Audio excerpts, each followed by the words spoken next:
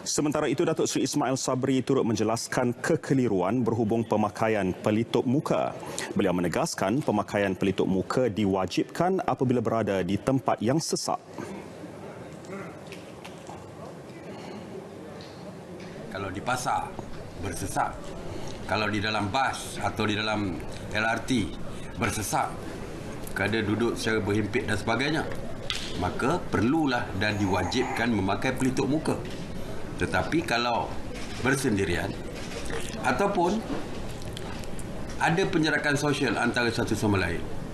Sebagai contoh, di restoran, kita tidak boleh memakai pelitup muka sewaktu makan. Tentu saja kita akan buka. Tapi kerana adanya penjarakan di antara satu sama lain, maka dibenarkan untuk tidak memakai pelitup muka.